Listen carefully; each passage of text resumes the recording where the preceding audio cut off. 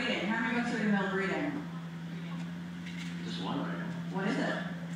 I'm reading a book uh, called American Canopy, which is sort of a history of, of America told through uh, our trees um, and what happened to the trees and what they were used for. And, uh, it's a fascinating kind of a brick of a book. Uh, but I, I don't usually read history, but I'm really kind of enjoying this.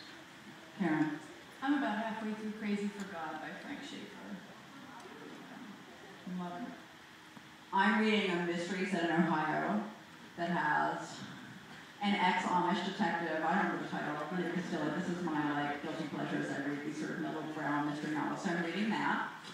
And, um, I'm reading, back to the tree imagery, I'm reading a book about lynching, um, and lynching's intersection with Christianity in America, which may not have made it into the history of American trees, but should have.